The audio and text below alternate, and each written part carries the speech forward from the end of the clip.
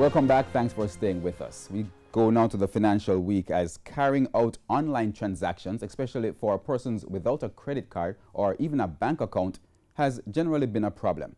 But WiPay, a new e-payment platform, is looking to change that. So how does it work?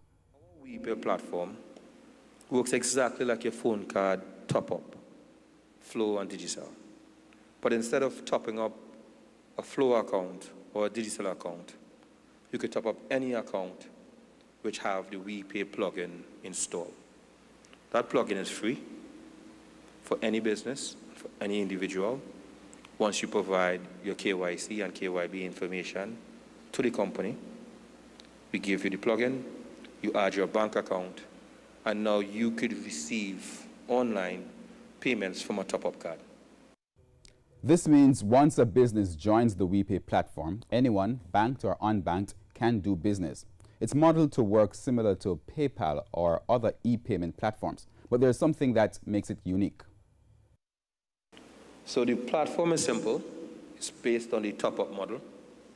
People know how to purchase a top-up for phone cards. We just allow that top-up to be spent on websites and mobile applications. It appears the same way on the website as the credit card gateway does. It just has a little WiPay button. So you click on WiPay and you enter the top-up card as you would a credit card. You could find the top-up at any of the places that you would sell a phone card top. The technology will also facilitate transactions from Visa and MasterCard debit and credit cards, making it easy for businesses hoping to make the switch. Once a business signs onto the platform, consumers can make payments from any terminal in any establishment.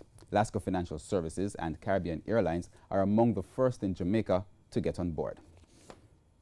We go on to currency trading. The day ended with the US dollar selling for $133.44. The Canadian dollar cost $102.56. The pound ended the day at $165.89, while the euro is now being sold for $150.37. Now, stock trading closed today lower than last week. The JSE index lost 8,000, 8, closed at 8,971 points. The junior market index also declined, losing 12.42 points. The top performing stocks were on Friday were Siboney Group, Jamaica Producers, Lasco Financial Services, Main Event Entertainment, and Access Financial Services. Now on the losing side were CPJ Limited, NCB Financial Group, Fosrich, Portland JSX, and Knutsford Express Services. And that wraps up the financial week. Good evening.